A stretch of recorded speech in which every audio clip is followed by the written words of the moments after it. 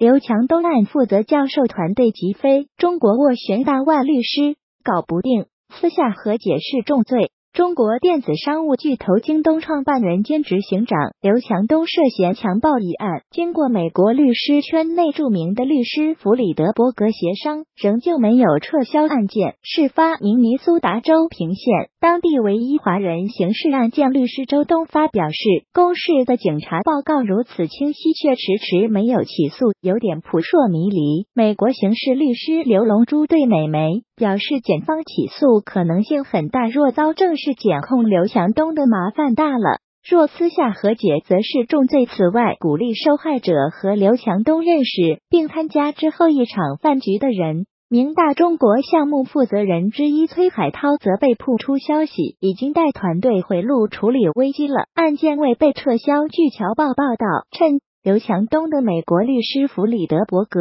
（Joseph Friedberg）。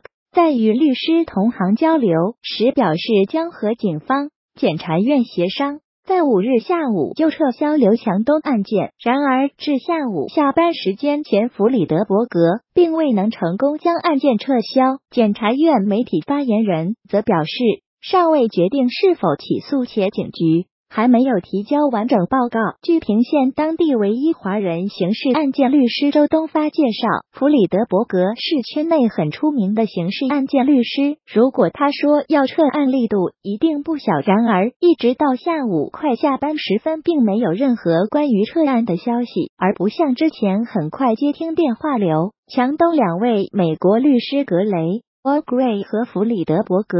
一直从上午至下午均无人接听电话。如果弗里德伯格争取都这么难，一定有问题，可能有事情发生。周律师分析，同时表示，公示的警察报告如此清晰，却迟迟没有起诉，有点扑朔迷离。此外，平县检察院新闻发言人拉扎斯基说。还对检察院的起诉做了解释，表示检察官拿到报告后会有三种可能发生：直接起诉，证据不足不予起诉，或者检方将案子送回警局，要求补充更多资料。报道趁截至截稿前，刘强东两名律师均未接电话。周东发律师分析说，以弗里德伯格能力，到现在迟迟没有结果，说明这个案件并不简单，一定有些问题。若私下和解，则为重罪。针对刘强东获释回国，美国刑事律师刘龙珠对美媒表示，检方起诉可能性很大。从统计角度来说，在警方以一级重罪逮捕的情况下，检方不起诉的可能性并不大。若遭正式检控，刘强东的麻烦大了。他说，届时刘强东在过堂、预审、终审中都需要出庭。然而，即使他想积极处理这个案子，也可能因签证问题不能出庭。作为一个被检控性侵重罪的人来说，刘强东届时有可能无法获得赴美签证，因而无法出庭，涉及逃庭，成为美国政府通缉犯。对于此事是否可以私下和解，刘龙珠说：“若私下和解或因其他原因做出对刘强东有利的证词，使其不被起诉，这在美国司法程序中。”是作伪证属于犯罪，而且是重罪。加州大学黑斯廷斯法学院法学教授 David Levine 对《华尔街日报》表示，如果美国有关部门起诉刘强东并签发逮捕令，中共当局也可能拒绝将刘强东交给美国的请求。David Levine 说。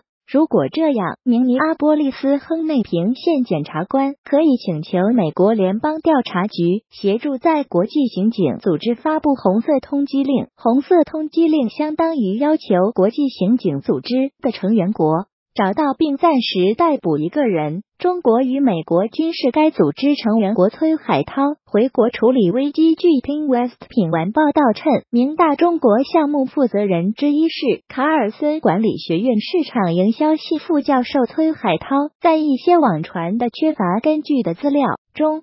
他被指责是刘强东的同谋，是鼓励受害者和刘强东认识并参加之后一场饭局的人。根据学院官网，崔海涛二零零零年从清华大学 IMBA 毕业，之后来到美国宾州大学进修。二零零五年博士毕业后加入卡尔森学院，现在为 DBA 项目的助理副主任。华尔街日报的报道。也提到了饭局的存在。